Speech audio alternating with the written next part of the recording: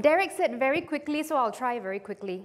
So we've heard so far about Google Analytics, how you can harness the power of that tool to look at your site to make improvements to your ad campaigns.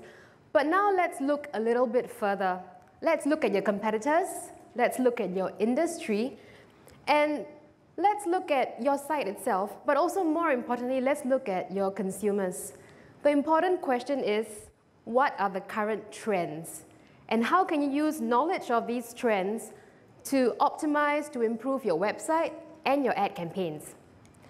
Let me introduce you to Mr. X. So Mr. X has a car dealership, and he's got all these questions about his site, about his ad campaigns. He wants to know, is his site good enough? Um, how should he spend his ad budget? Where should he put his money?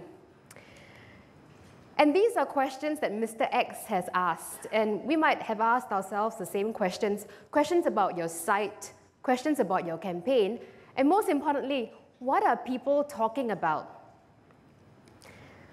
And we have tools, and these are free tools that we have, that you can use to actually tap into the trend, identify the trend, do some research, and then kind of find the core of the trend and see how it applies to your industry. So recently, there's been a lot of news about the Toyota Prius recalls. And so our Mr. X is in the industry. He's very interested, and, and frankly, he's a little concerned. So he hears about these things, but he doesn't know how important is this. So he looks at the events that have happened. So over the last two months especially, a lot of things about floor mats and gas pedals going wrong. Everyone's getting really nervous. So Mr. X starts by trying to identify the trend. And we have two tools, Web Timeline and Wonder Wheel. And both these tools you can access from your Google search results page. So I've done a search here for Toyota recall. Now, if you look at the top here, it will actually say, it will say um, show options. And you click on that little link there, and this menu bar magically appears, right? Go down to your timeline, and you can see that I've done a search for Toyota recall, and I can see all the kinds of news and, and web content that corresponds with that. And there's a huge spike in January, in February, and this is the time when the Prius recalls were happening. So my Mr. X now is seeing, oh, there's kind of a trend here, but I'm not too sure. So I'm going to start searching for related words. He searches Toyota, he searches hybrid cars, and he sees again there's a corresponding spike. So the whole concern was about the safety of the cars. And he types in his query, safe cars. And again, people are obviously very interested. And now he's starting to think, car safety. You know, I'm, I'm selling cars. I'm always talking about how great my car is, how fast it goes. Maybe I can start talking about what people care about now, which is the safety of the car. So, but he's still not convinced, so he decides to research even further, trying to find the trend. He uses the Wonder Wheel, which is, uh, anyone use the Wonder Wheel? Okay, cool. So it's the same place you can find it. I type in my query, which is car safety, and it's kind of like a mind map. So car safety appears and related searches appear around it. So my Mr. X has clicked then on car safety features. Clicking further on smart car safety features. And then something gets his interest here he sees that people are also searching for YouTube content. In this case, about smart car crash tests. So people want to see crash tests on YouTube because they're all concerned now about their safety. And then he starts thinking, so perhaps I can put something up on YouTube too. So he goes into YouTube, he searches for Toyota, and one of the, one of the videos that he sees is the president of Toyota apologizing. And, and just to let you know, I took this screen grab four days after the video was posted, and already it was almost 20,000 views. So that's the huge reach of YouTube. So my guy, Mr. X, is looking at this, and then he starts to realize that YouTube is not just a channel for entertainment. It's not just where you post your cat pictures, your cat videos, everyone talks about it and puts it on Facebook, and then we all laugh. you can actually use it as a platform for testing your TV commercials, for testing your video ads, and even for testing different kinds of ad messages. So in this case, Mr. X looks at stats and data, right at the bottom there, and he sees stats and data for that particular video. And we kind of imagine it's mostly men who are interested in watching things about cars. But we can stop guessing because the demographic data for this video shows it is men. And it shows you where they're coming from. They're coming from the US, from Australia, from India. And in the middle part here, this is quite interesting. This shows you how other sites and searches are reacting with your YouTube video. Where are people taking it and putting it on? What are the searches that have led to people watching this video? So now Mr. X is getting kind of a, a good idea of where he should target his campaign. You know, these are the countries, this is the, the gender group. And also he's thinking, for example, the first result there, this is not first result, the first link there, it's autos.aol.com. So AOL has taken this video and put it on their site. And Mr. X is thinking, perhaps I can do a partnership with AOL where they can refer traffic to my site. Or perhaps I can start placing my ads on AOL because people are interested in the same kind of content. So then Mr. X is really enterprising. He goes, I can see so much from someone else's video. Let me put my own stuff up. And he has a TV, commercial. He hasn't, you know, aired it yet. He's not sure who to target. He puts up his video, and he sees a lot more data. Again, he sees where people are coming from who are watching this video. He can see visits to the page. And he knows it's mostly men. But now he can see that it's mostly men from the ages of 24 to 44 who are interested in watching his content. And this part is really cool. So this tracks the hot spots in your video. You know, is it hot? Which parts are people rewinding and watching again? Which parts are people dropping off at? And for someone like Mr. X who owns this car dealership, perhaps he has eight brands of cars.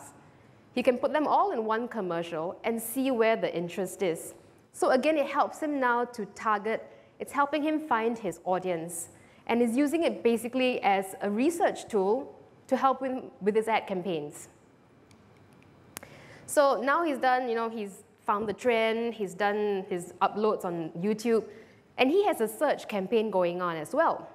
But he's not really sure what keywords should I use. He goes into Insights for search, he puts in a search term and he can filter according to geographical area, according to time periods. In this case, it's put in Toyota Prius. And by now, it's not a surprise to see the spike happening again at the same time because that's where all the interest is. But Mr. X is not sure, maybe it's something specific to Toyota. So what does he do? He does a category search for the automotive industry and sees that while there are declines, there are spikes. In general, the trend is going up. So there is an online interest, an online audience for his industry, and he can put his ad money there. Further down the page, he goes and he sees where people are searching from. And he also sees search terms that people are using. So all these search terms at the bottom, he can put them into his ad campaign.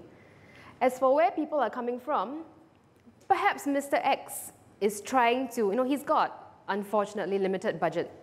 And he has the whole world to target. So he sees from here that, okay, the Netherlands is where I want to target. So that's where I put my ad money. Okay, so he's done his research, he's uploaded his videos. Now he wants to get to the core. And this whole trend was around Toyota. He goes to trends for websites, types in toyota.com, and what he sees is traffic to toyota.com. Again, even though it's, sorry, anyone from Toyota? okay, cool. Um, it just occurred to me. so he sees there's a lot of traffic going to toyota.com, even though the news has not been good.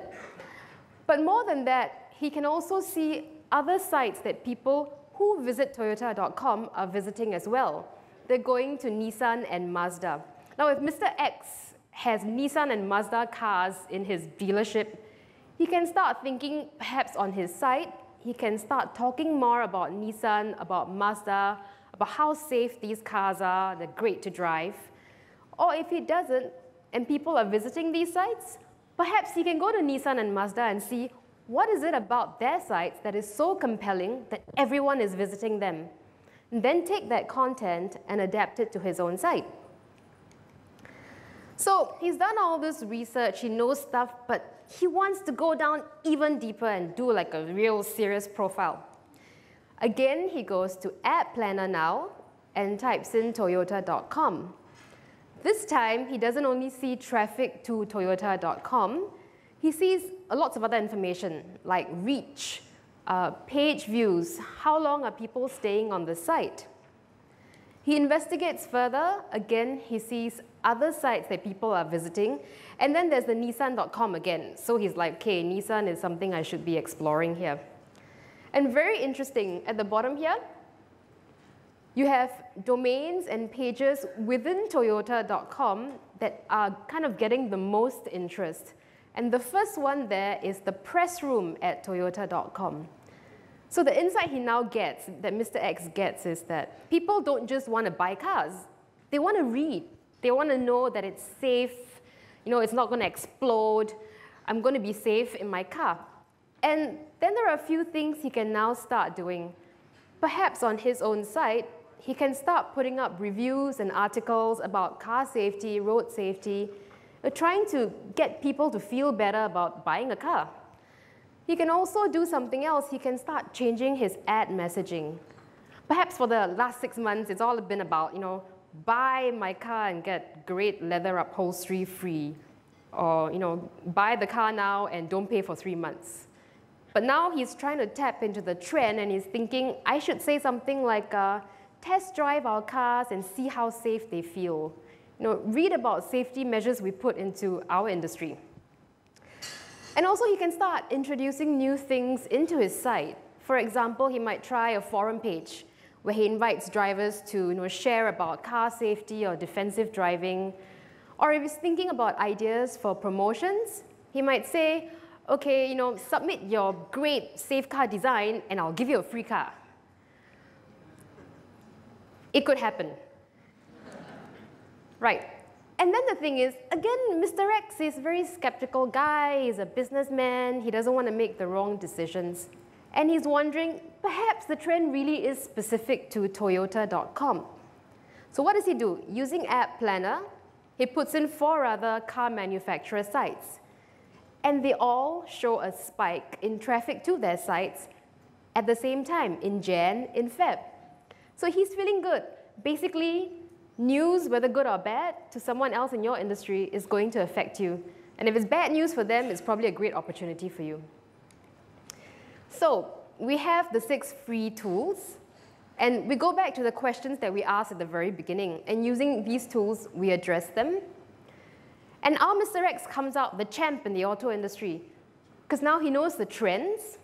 He knows how to do research into his site, into related sites, how to improve the content of his sites, as well as changing his ad messaging, finding placements, finding potential partners.